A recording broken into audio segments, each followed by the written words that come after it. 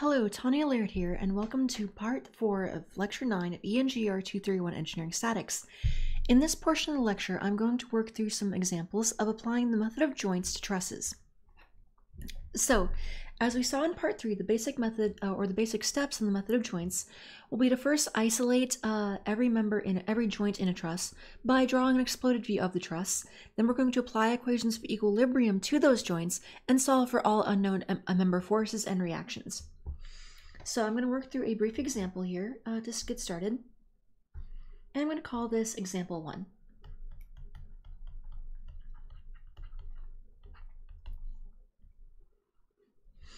So let's consider the following truss.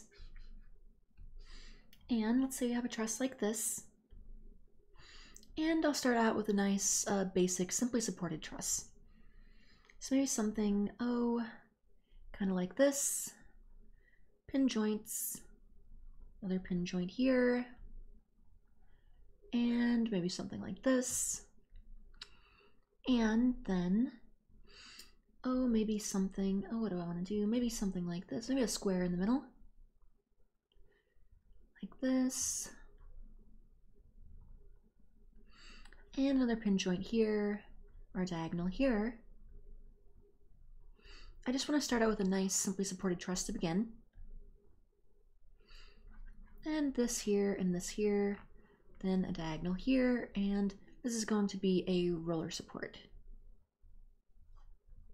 And then this is our pin support and our roller support, and all the joints are pins. And I'm going to label these joints A, B, A and B, and then C, D, E, and F. They're not E again, F. And uh, I'm going to go ahead and give some dimensions oh, let's just say right here, uh, maybe this is, maybe the each bay will have a height of eight feet and maybe a width of six feet. A width of six feet. So that'll make all of those diagonals a nice three, four, five. Mm, six feet, six feet, and six feet. Uh, six feet, six. Actually, you know what? Maybe I'll make things a little bit interesting and make that an eight foot. Uh, well, no, six feet. That's fine as well. And an eight foot, uh, another six foot here. Then I should show some loads on this. And I guess I'll just go ahead and put a single 10 kip load here. So I'll have a 10 kip load applied downward at joint B. So uh, we have all of our dimensions, we have all of the required things that we'll need to actually solve this truss. We have our dimensions, we have our loads, we have our joint names, uh, where, uh, how it's supported, and this is uh, statically determined. It's a nice simple truss, a true simple truss. Let's go ahead and work through this. So given, all the following is given, and then find uh, reaction forces and all, uh, maybe I should say all external reaction forces or external reaction and internal member forces. And internal member forces.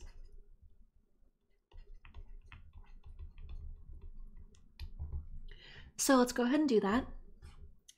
And uh, the first step is going to be, uh, well, what I'm going to do is, something I discussed previously, and that is to first solve for the external reactions, uh, the reactions at C and F, by treating the entire truss as a single rigid body. So let's go ahead and do that. And what I mean by that when I say treating it as a single rigid body is by ignoring any kind of internal forces. And I'm going to ignore the fact that this is actually made of individual members and just treat this like a basic trapezoid. So I'm just going to say, okay, uh, forces will be transmitted through the truss, and ignoring any kind of internal forces, the actual forces inside the members, I'm just going to look at what kind of external forces are needed to keep this thing in equilibrium. So you have a 10 kip force applied downward at joint B. And then at joint C, uh, I'm going to have a CY and then some sort of CX here. Some sort of CX. And then I'm going to have at joint F some FY. Some force at uh, joint F in the Y direction. Then I should, if I'm doing a free body diagram, I should probably go ahead and label the dimensions. This is going to be at the same 6 feet, 6 feet, 6 feet, and 8 feet. Although, as we'll see for this particular case, the 8 feet will not be important for this particular free body diagram. Now, uh, let's go ahead and do a, uh, let's just go ahead and work through the equations of equilibrium. I'm going to do a sum of forces in the x direction, and that will be just cx. And there is no other force, so cx is just equal to 0. Then I could do a summation of uh, forces in the y direction, but I really don't want to do that because I would have two unknowns in that equation. And as we'll see as we work through this truss, I'm going to try to avoid ever ever get going through a, a case where I have uh, more than three unknowns on a given uh, on a given joint, or I'm going to try to avoid a case where I have two unknowns in one equation if I can. I can solve systems of equations if I need to, but I would rather avoid doing that if I can. So I'm going to start by doing a balance of moments about joint C. And uh, at this point, Cx and Cy, neither of them will generate a moment there. And so I'm going to have uh, negative 10 kips, this force, this force here, and it's going to be clockwise, so that'll be a negative moment, and the moment arm length will be 12 feet. Then I'll have Fy plus Fy times a moment arm length of 18 feet moment arm length of 18 feet. This equals 0. And then uh, Fy is going to be equal to 10 kips uh, times 12 over 18, or uh, 2 thirds of 10, or um, let's see, 2 thirds of 10, so that's going to be 10 times 2 over 3. Or I could do that as 20 thirds, or I could just say that is 6.667 kips, if I'm willing to do this as an ugly decimal. Then, so we have our uh, first uh, non-zero reaction, our Fy uh, here. Then I'm gonna have to, I'm gonna go ahead and do a summation of moments about joint F, and that'll allow me to get Cy.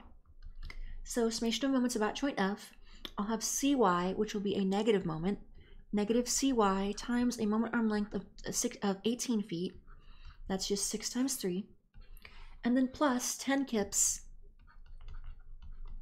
times a moment arm length of 6 feet. And all of this is equal to 0. And then cy will be equal to 10 kips times uh, eight, uh, 6 over 3, uh, sorry, 6 over 18. And that will come to, that's one third, and so that will simply come to 3.333 kips. So we now have our reaction forces. So the next step is going to be to draw an exploded view of the truss. And before I do that, I'm just going to draw a really quick sketch in the upper left corner. And I'm going to then, I can then use this as a quick reference as I draw out my exploded view. So I have, this is the general form of my truss. And I have joints A, B, C, D, E, and F. And my forces are 10,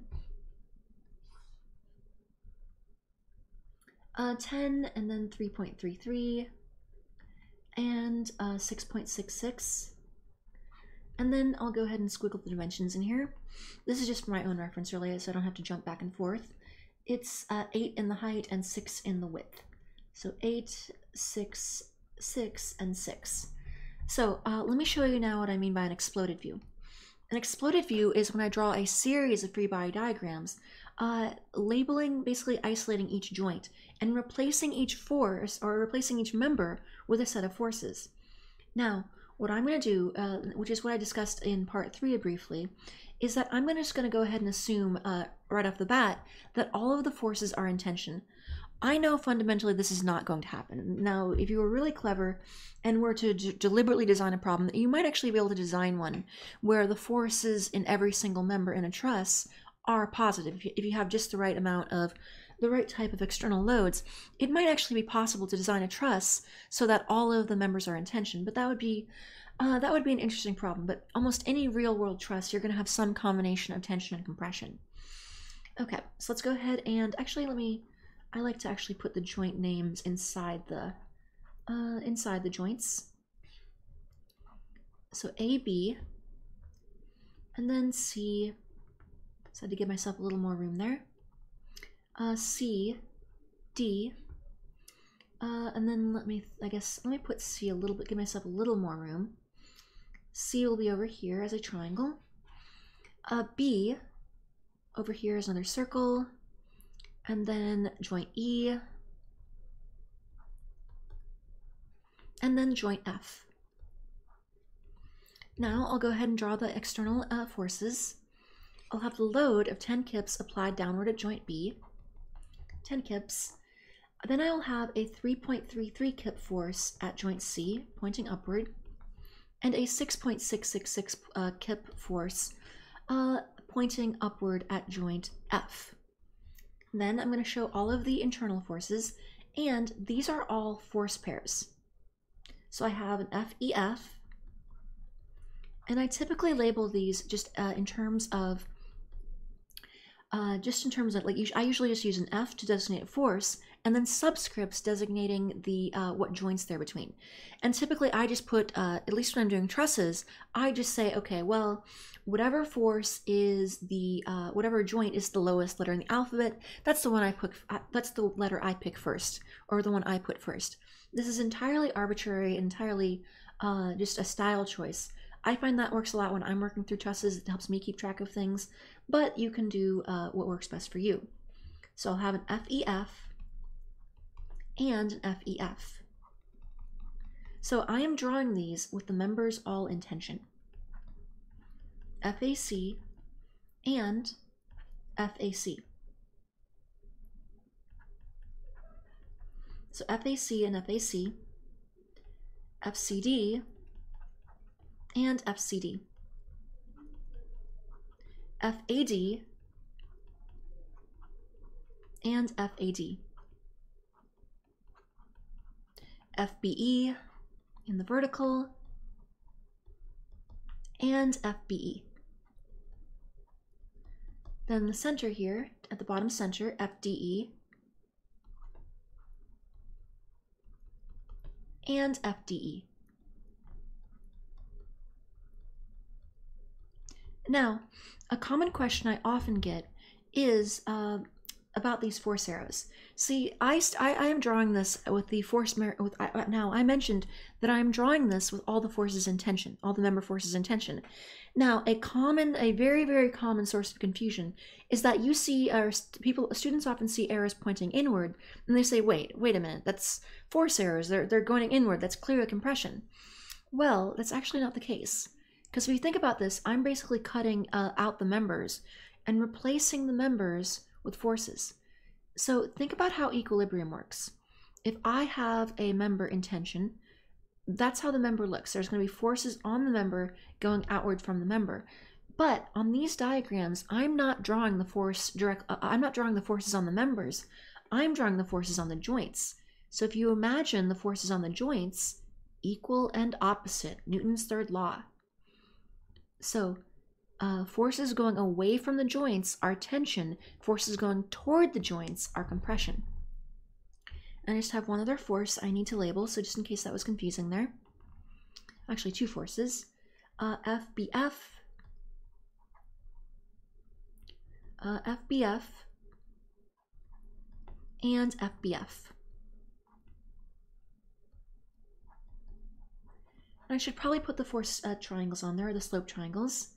Uh, these are 3, 4, 5 triangles because 6 uh, divided by 2 is 3 and 8 divided by 2 is 4. So these are 3, 4, 5, and I also have F, uh, the diagonal here, FBD to worry about.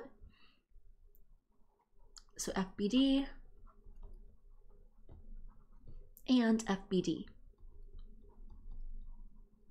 And this is also these are also 3, 4, 5. Uh, 3, 4, and 5 and this is also a 345. Also a 345. All right, so now um, what I'm going to do is just to work through a uh, work through each of these joints, applying equations of equilibrium. So I think I'm going to start with uh, joint C. So let's consider joint C look at this, I'm going to look at just this joint here. And, and when we apply equations of equilibrium to one joint, we have the nice thing about isolating each joint is that I don't need to worry about all the other forces when I'm doing equilibrium on joint C. I only need to worry about joint C itself because I have cut it out and isolated just that joint. So I'm going to do a, now, uh, as we discussed in part three of this lecture, we saw or that we uh, we I described how we treat joints as point particles. So I'm not going to be worried about any moments about joint C because we don't even have the dimensions of joint C. So we're, we're going to be looking at just the summation of forces in the x direction and just the summation of forces in the y direction. In other words, we're only looking at translational equilibrium. So the summation of forces in the x direction, actually, uh, that would be a poor choice to start. I think I would rather start with joint uh, the summation of forces in the y direction and the reason for that is that uh, only one of the unknown forces has a y directional component. So summation of forces in the y direction, I'm going to have FAC, uh, FAC times 4 over 5. And then plus 3.33 kips is equal to 0. And if I solve for FAC, uh, FAC will then be negative 3.333 times 5 over 4. So 3.333 times 5 over 4, but negative. And I'm just going to go ahead and for now do these as ugly decimals. This is negative 4.167 kips. And this is going to be in compression. So we have our first member force. Then I'm going to do a summation of forces in the x direction.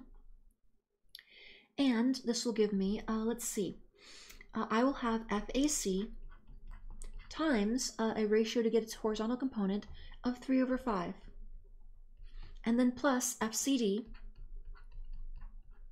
and this is equal to 0. And so FCD then, and you notice when I crafted the equation that I usually just craft them or write them as they appear in the original diagram, in the original drawing. I know that in actuality FCD would be going to the left because it's negative, but I just like to work through the equations uh, as they appear in the original diagram and then just apply a negative on the back end when I actually substitute the force in. But you can do, again, what works best for you. I've seen it done different ways. So FCD then will equal negative FAC uh, times 3 over 5, which will equal negative FAC, uh, negative FAC, or actually I should put in the value there, uh, negative negative 4.167 times 3 over 5. And so 4.167 times negative 3 divided by 5, and this comes to exactly 2.5 kips. And this will be in tension. 2.5 kips in tension. All right, so where to go next? I think I'm going to go to joint uh, F. Now, I am going to try to cram all this on one page so that I can avoid drawing a bunch of smaller diagrams and things like that, and so you can easily see where all these numbers are coming from. So I'm going to go to joint F now. And the reason I'm doing that is that I usually don't start on one end of, one end of the truss and just go, you know, from one end to the other. Often I jump around, uh, just looking for whatever uh, member tends to be simplest at the time. And so uh, joint F the nice thing about this is I have only two unknowns. It's very similar to this one. Two unknowns, and only one of them has a component in the y direction. So joint F here, I'll do a summation of forces in the y direction, and that will be FBF times uh, 4 over 5, and then um, plus 6.666, uh, 666 equals 0, which means that FBF is equal to negative, uh, so that's going to be negative 6.666 times 5 over 4, and this will come to negative 8.333 kips, which will be in compression. So we have our second member force, and then a summation of forces in the x direction, a summation of forces in the x direction uh, on joint F still will give us, let's see, and again, I'm going to ignore the fact that I know FBF would actually be downward and to the right, so actually positive in the x direction, and just apply a negative. So negative FBF uh, times 3 over 5 to get the x component, just applying the ratio method, uh, minus FEF, and this then equals 0. And so uh, FEF equals uh, negative, that's going to e equal negative, uh, negative 8.33 times 3 over 5. And that will come then uh, to a positive, so 8.333 times 3 over 5. Uh, negative 3 over 5 there. And that comes to exactly 5 kips, which is in tension. So FEF is 5 kips in tension. So, uh, so we have that, we now have our fourth unknown number force. So I'm just gonna kind of cordon that off. So uh, we have uh, this one. Basically we have this one, we have this one, we have this one, we have this one. So uh, where to go next? I think the easiest place to go, the most, the, the best place to go right now, well, A and E are both very promising. So I'm going to go to joint E. And this is this one is actually going to demonstrate something that we call that we will later call a zero force member, but I'm going to save that for a different portion of a lecture. We'll actually have a short video discussing zero force members because they're kind of neat. So joint E, well we have FEF which is equal to 5 kips. So what I'm going to what I'm to do is a simple summation of forces in the y direction. Uh, that will be equal to FBE. Uh, and there's nothing else. FDE and FEF, member DE and member EF, are both purely horizontal. Neither of those forces has any vertical component, so it'll just be FBE equals zero. And just FBE equals zero, that's it.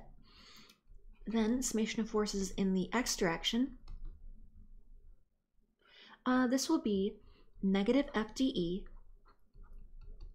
plus FEF is equal to zero uh, plus FEF is equal to 0, which means FDE is equal to FEF.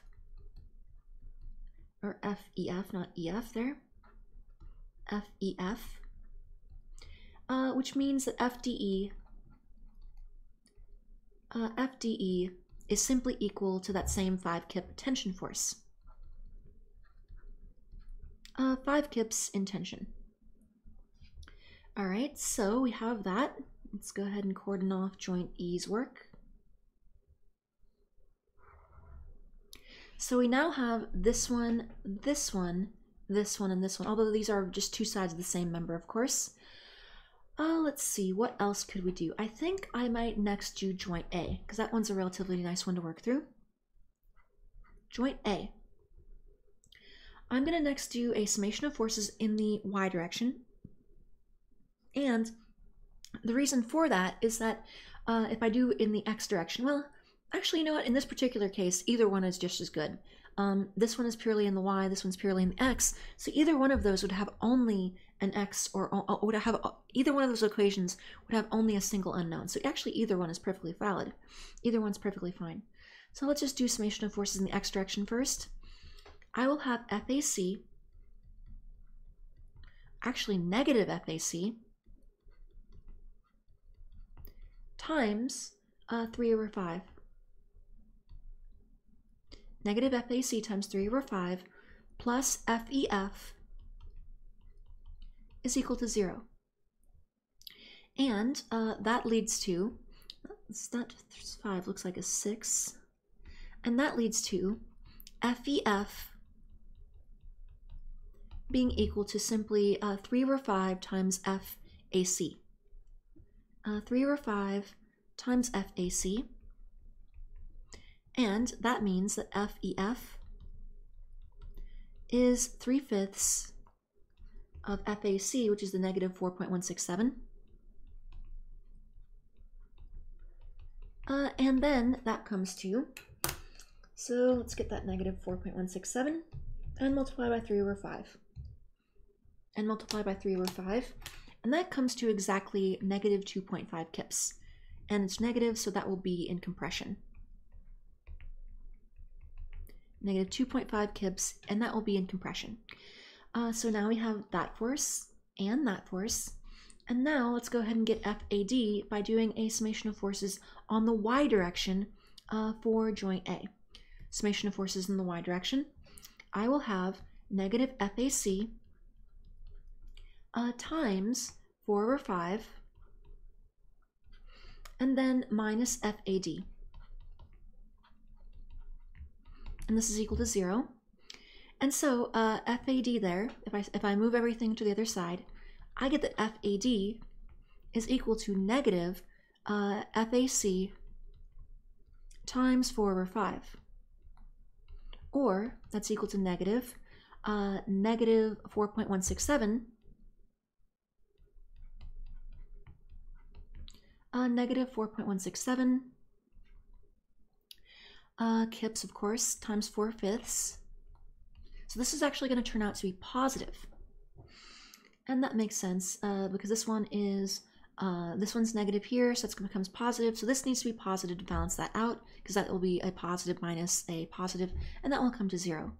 So 4.167 uh, times 4 over 5 and this comes to oh, if I can keep if I can keep, if I can quit from uh, or keep from jumping ahead, that will come to 3.333 kips, uh, which will be intention. So we now have FAD, and we also have FEF there. So we now have this one and this one, and finally, all that remains is FBD. And to do that, I think I'm going to look at and my remaining space is very oddly shaped to say the least. But I think to do that, I'm going to apply equilibrium on joint uh, D, and the easiest way to do that will be a uh, summation of forces in the y direction on joint D. So a summation of forces uh, on in the y direction, and I'll have FAD, FAD, and then plus FBD uh, times 4 over 5 for the y component, which means that FBD, uh, if you solve, oh, of course, this has to equal 0. Let me uh, complete the equation. And if I solve that for, uh, that equals 0, if I solve that for FBD, I get that FBD is equal uh, to negative FAB times 5 over 4. Negative FAD times 5 over 4 times 5 over 4.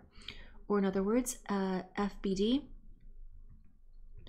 is equal to uh, negative 3.333 kips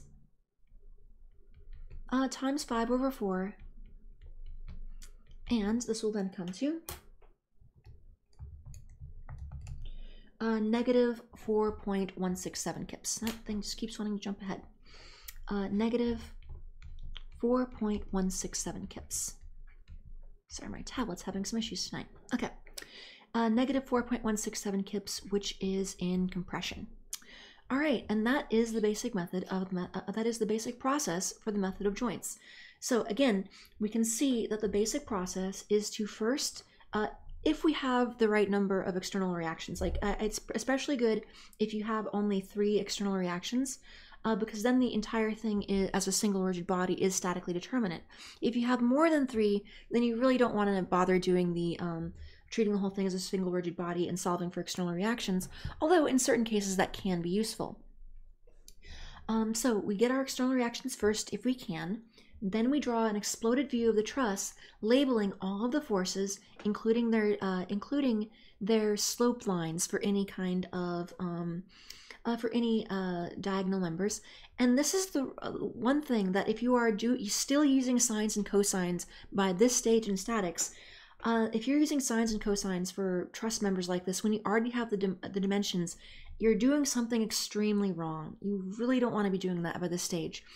Um, by this stage of the game, you really should be multiplying by force ratios, uh, simply because finding thetas, as we looked at this before, finding thetas and then taking the cosine of that when you've already taken the inverse cosine of that it there is no point. If you already have the ratios you don't need to do that. To get the x component of this i don't need to take the i don't need to find the theta based on the inverse uh, tangent of 4 and 3 uh, of 4 over 3 and then take the cosine I don't, I don't then get fac by multiplying fac by the cosine of that theta. That's pointless. Uh, rather and much much faster you can simply take FAC and multiply it to get the x component, for example, by 3 or 5. That's just simple, simple, trivially simple um, proportional triangles, just literally basic geometry. Uh, applied to vectors, of course. But uh, anyway, with that aside, this is the basic method for the method of joints, the basic process for the method of joints. We uh, go and uh, uh, first uh, figure out what kind of things we're looking for. We're looking for all, often we're looking for all member forces and all external reactions. We find the, the external forces if we can by treating the truss as a single rigid body. And then we go and break the truss into pieces, replacing all members with forces, often initially assuming uh, tension, with, where tension is uh, forces pointing away from the joints. And then we apply uh, static equilibrium, but in particular static point particle equilibrium to each joint to solve for all of our member forces. And we don't necessarily move uh, from left to right. Rather, we tend to move uh, from joint to joint wherever we see uh, easy pickings or easy points on the board, like you sometimes might say.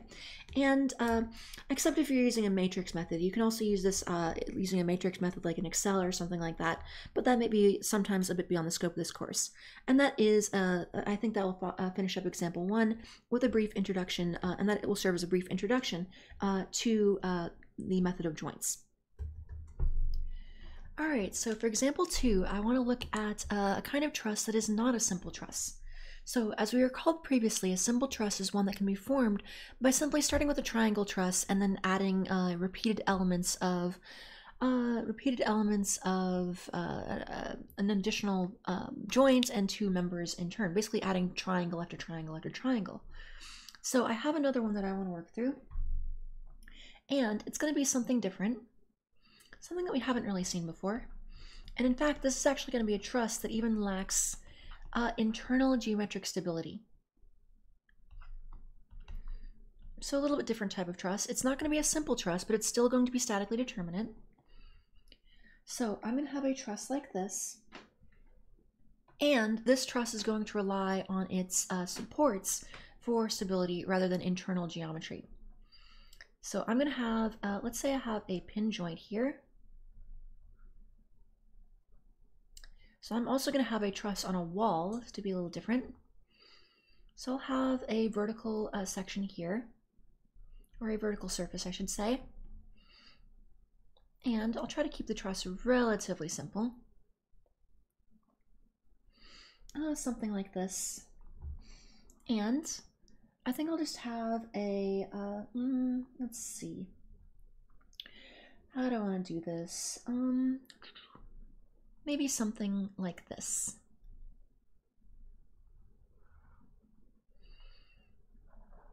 With pin joints here and here, and just like this. But notice I'm not going to put a member here.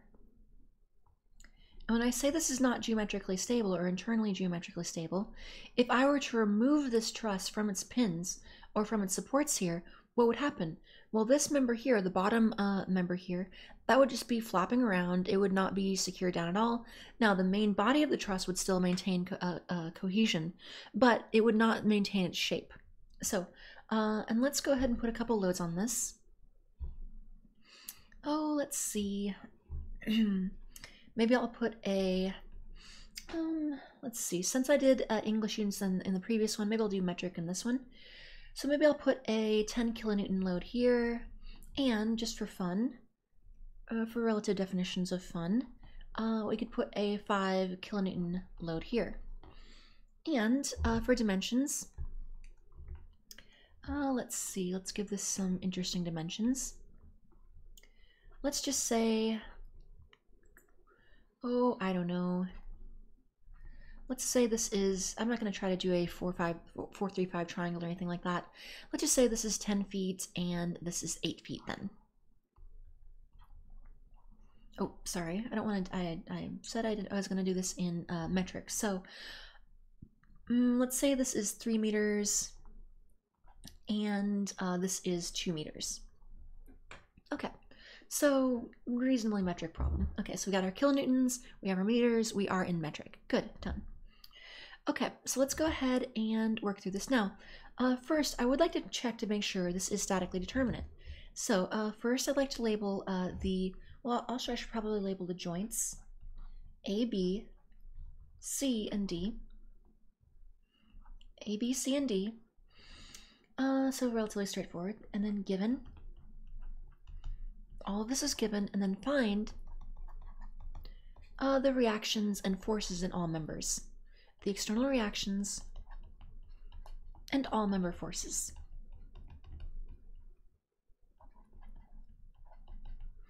and all member forces. So let's go ahead and do that. So let's see here. How might we do this? Well, let's take a look. So um, let's consider this for a moment. Let's look at the external. I would like to just go ahead and label the external forces. We're going to have two forces here and two forces here. So we'll have an AY and an AX and a CY and a CX. Now I would like to I would like to double check that this thing is statically determinate. So let's try the m plus r equals 2j equation. m, 1, 2, 3, 4, there are four members. So again, m plus r, uh, to be fully statically determinate, must be m, it, we must have m plus r equals 2j, it equals 2j. m in this case equals 4, the number of reactions equals 4, and the number of joints is equal to 4. So 2 times 4, 8 equals 8, we are indeed statically determinate. We are indeed statically determinate. Now, but again, uh, as I mentioned previously, we're not going to be able to solve for all of these uh, member forces, or sorry, not member forces, these external reactions, by treating this as a single rigid body. If I isolate this and treat it as a, just a simple rectangle, for example, I now have uh, four unknowns, but only three equations of equilibrium. However, even though I can't solve for all of them, it may still sometimes be beneficial uh, to do that. So, you know what, I think I actually will go ahead and do that. I think I'll go ahead and solve for as many of the reactions as I can, and then um, we'll see what kind of benefit that gives us. So I'm going to start by uh, drawing out the truss as a single rigid body. And yes, I know there is actually no uh, member in the uh, between A and C, but that's fine because again, I'm just drawing it as a single rigid body, ignoring the fact that there are intermediate members, that kind of thing. I'm just analyzing it in terms of the forces that are on that single region. So we have a 10 uh, kilonewton force here. I guess I use the same force, uh, 10 kips, to, uh, well, not the same force, but I guess I use the same uh, number. Oh well, it shouldn't really matter uh, 10 kilonewtons and 5 kilonewtons. And then I'll have CX and, uh, oh, not sorry, not there, AX, and I'll have CX. Then I'll have a CY and AY. So by some clever balance of moments, I, I will be able to solve for some of these, but not all of these. So let's start by doing a balance of moments about point C, or actually about, about point A, why not? Sum of moments about point A. And the nice thing about this is that this force, uh, the CY, and the two A forces, neither of them will generate a moment about that point. And so I have, oh, and this is 2 meters and 3 meters. Sum of moments about A. Uh, I will have just the only unknown force will be Cx.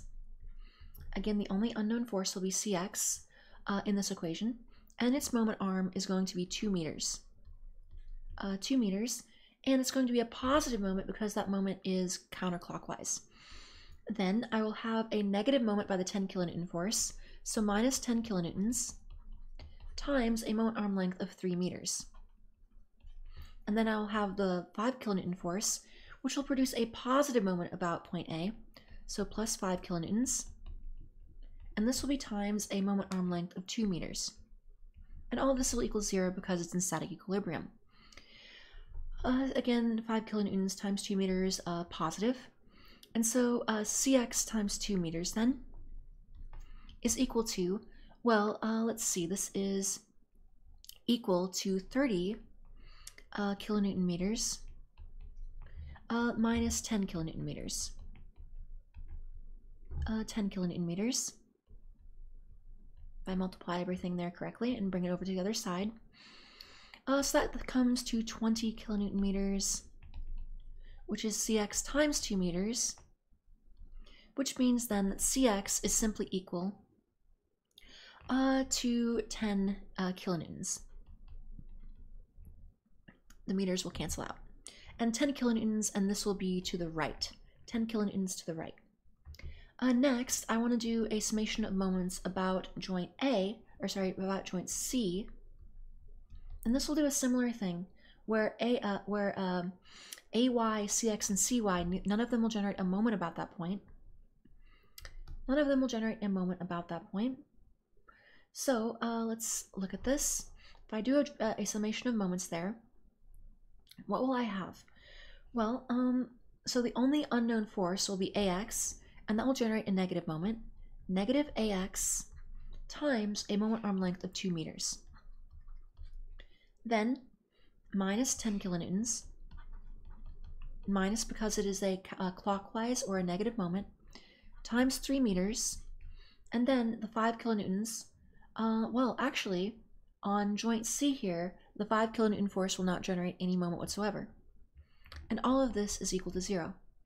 And then AX will be equal to, well, this is going to be positive when I bring it to the right, but then it'll be negative.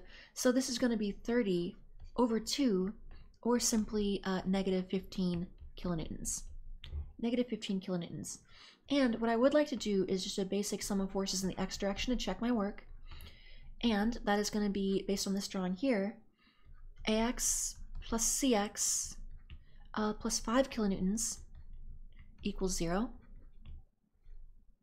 And this is, let's see, ax is negative 15, uh, cx is plus 10, and then, then I have the plus 5, negative 15 plus 10 plus 5 indeed equals 0, 0 equals 0, so we do have our right reaction forces. Now, this is all we can get in terms of reaction forces from the external, uh, from external equilibrium alone, or external, uh, this is, these are the only external forces we can get by treating the entire object as a single rigid body, is what I probably should say.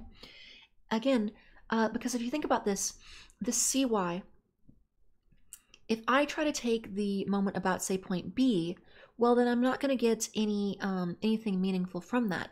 I'm just going to get a, uh, both of these will generate a moment there. And if I do a summation of forces in the y direction, again, I just, I'm not going to be able to solve for all of the forces. I fundamentally have too many unknowns for just the, uh, to solve for the external forces directly. So what I'm going to do next is, I'm going to move on to doing the joint by joint approach. But that still, that, that doesn't mean I shouldn't have done the step.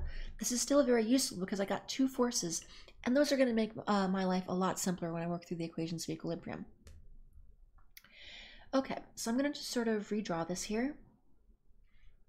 Um, I'm just going to redraw it. I'm going to ignore the uh, circular joints here. I just ignore the joints as uh, in, in general. I'm not going to bother drawing the joints. This is just going to be a quick sketch showing what I know and what I don't know. Uh, so I have a uh, AX, which is to the uh, left of 15 kilonewtons. I'm going to go ahead and reverse this one.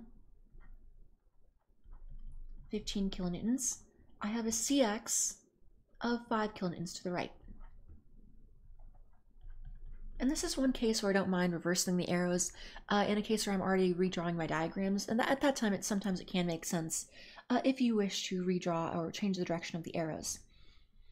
And then this is 5 kilonewtons. So I have a 5 kilonewton force here and a 10 kilonewton force here.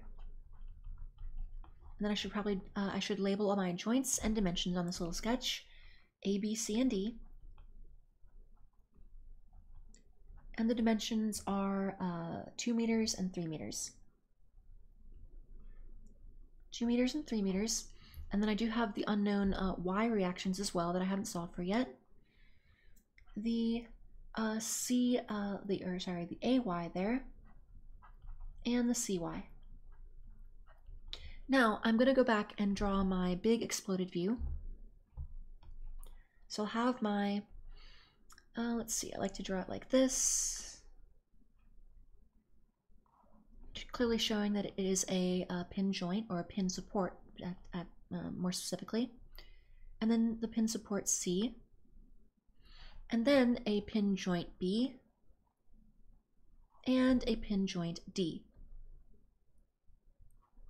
Then I'll show the external reactions, or sorry, the external forces, uh, 10 kilonewtons, downward, and then to the right, uh, 5 kilonewtons. Then here, I have 5 kilonewtons to the right, and 15 kilonewtons to the left. 15 kilonewtons to the left. And then in terms of internal forces, I'm not going to have anyone, any force going from A to C because there is no member there. But I'll have forces in every other direction, basically. I'll have uh, FAB, the fabulous force, uh, and then uh, the, then equal and opposite in the other direction, FAB. Again, remembering that I'm assuming everything's in tension, and that tension represent, is represented by forces going away from the joints, as we discussed in example one. And then uh, FCD like this, also horizontal, and FCD, like so, equal and opposite. Then I'll have an FBD and an FBD. And then finally, I'll have a force that is just another fad, just coming and going, just here and there, blowing in the breeze, FAD. Another stupid joke. It's okay, I make it every year. Anyway, FAD here. And I probably should, whenever you have a diagonal, you should show the uh, force triangle, or this, uh, uh, or the force slopes, whatever you want to refer to this as. Uh, and I can just call this a 3, 2, and so if I take this, this is not going to be an even number, but that would just be the square root of 3 squared plus 2 squared, or the square root of 13. Oh, and I cannot forget my other reactions that I still haven't solved for yet. And that is going to be AY and CY. AY and CY. AY and CY. All right, so where do we begin with this mess? Well, we can begin at really any point we like, but um, let's see. I'm seeing uh, some nice beginning points at a couple places. Uh, let's see, I think this joint and this joint would be good places to start. And fundamentally, the reason for that is that those will allow me to get some uh, forces really quickly. So let's consider joint B. Uh, the first thing I'm going to do is a summation of forces in the x direction. Summation of forces in the x direction. And uh, I just have negative FAB. Uh, and that's it. The, the 10 kip force is downward and FBD is also purely downward or purely upward if it's a negative, if it's compression, but regardless, it's purely in the y direction. And so this just equals zero, and so FAB is a zero force member, which we'll discuss more, which we'll discuss later when we look at uh, zero force members, I think at the start of lecture uh, 10 tomorrow. Uh, FAB here, so FAB is equal to zero. So we have this one and this one. Uh, and that's all we can get from, well, no, actually, I guess we can get FBD as well.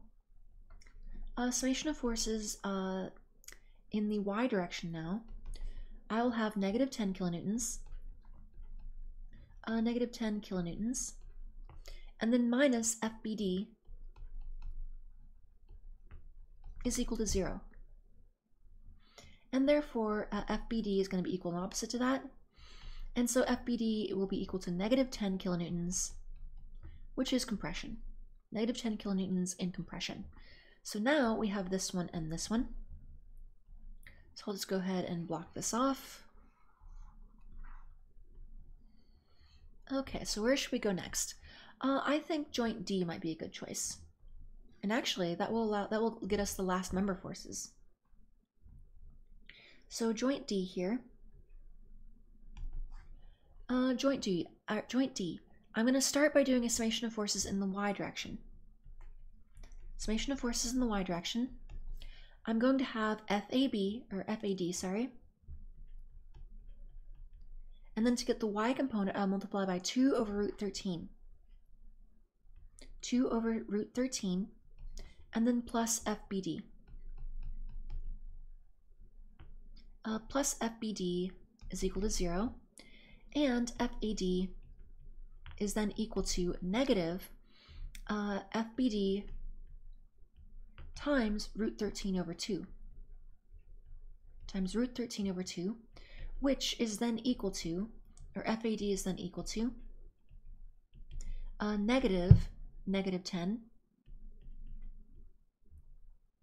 uh, negative, negative 10, and these are still uh, nice even numbers, so I think I might actually do this in exact form, uh, times root 13 over 2. So that will actually come to just a nice, simple uh, 5 root 13 positive kilonewtons which will be in tension. I don't want that. Uh, let me clean that up a bit. Uh, 5 root 13 kilonewtons, which is in tension. All right, and that concludes, uh, well, I guess no, we still have another one. I shouldn't corn that off yet, sorry about that. Uh, then I can do a summation still on joint D. I can do a summation of forces in the x direction. Uh, so now I have this uh, FAD here.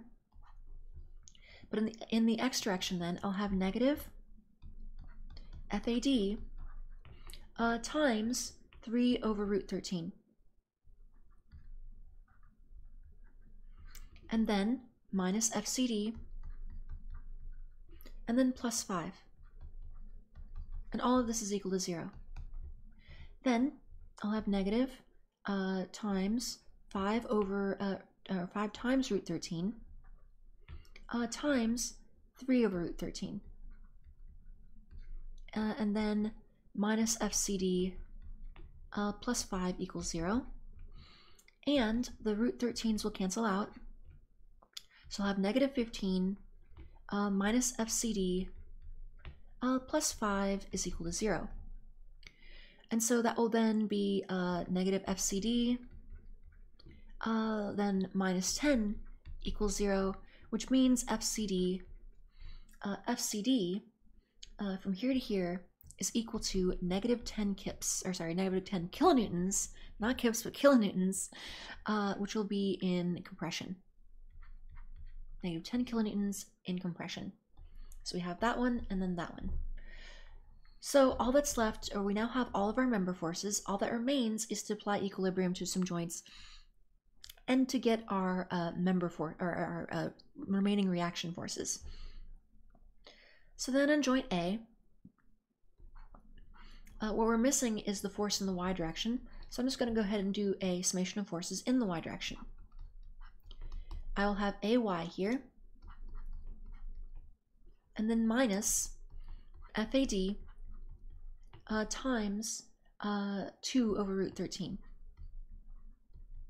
And all of this equals 0. And AY then, oh, if I can, my mouse wants to jump ahead right now. AY is equal to FAD times 2 over root 13 or FAD here is equal to 5 root 13. So it's, and that's positive, 5 root 13 uh, times 2 over root 13. Root 13s cancel out, and we get 10 uh, kilonewtons positive, uh, which will be, uh, well, in this case, it's not really tension or compression, it's a reaction force. So AY is um, 10 kilonewtons upward, a 10 kilonewton upward force. Then uh, so I can, that's all I need from joint A. And then I can go finally to joint C. Uh, joint C here, and that will be my final equation of equilibrium. And I'm going to apply a, uh, well, let's see, actually, uh, I can look at this and say, oh, I can just do a summation of forces in the uh, y direction. Actually, I could have gotten that just right off the bat. That would have been a good choice, actually, but oh well, that's fine. Uh, summation of forces in the y direction. I'll just have cy and then nothing. So cy is just equal to zero. In fact, uh, the only two forces that are transmitted through joint C are, are purely horizontal. So even though this joint has a capacity to carry vertical load, in fact, under the loadings that this truss is experiencing, it's not carrying any vertical load. So if I put vertical load maybe on this joint or maybe on this joint, then maybe it would carry some sort of uh, vertical load, but actually probably not on this one. I'd have to apply it directly to joint C to get it to carry vertical load, but it can. And so it, does, it doesn't, uh, it's not currently doing so, but does have the capacity to do so. All right, and I think through those two examples, we have described pretty well uh, the method of uh, joints uh, to solving basic trusses. So the uh, approach is going to be the same for all of these cases. Basically, you start by solving for whatever external reactions you can by treating the truss as a single rigid body. Then you go and break the, then you draw the truss's exploded view and uh, label any internal forces. Then work through a point particle equilibrium on every one of the jo uh, every one of the uh, joints until you can get the uh, desired forces that you're looking for. All right, I think that'll do it for this portion of the lecture. And actually, I think that'll do it for lecture uh, 9 altogether. In lecture 10, we're going to uh, do a quick uh, discussion of the um, the concept of zero force members, and then we're going to get into the meat and potatoes uh, of the main lecture, which will be uh, trusses the method of sections. All right, so I think that'll do it for this portion of the lecture. Let me know if you have any. Um, let me know if you have any questions. And actually, this will do it for the, this will be the final portion of the entire lecture.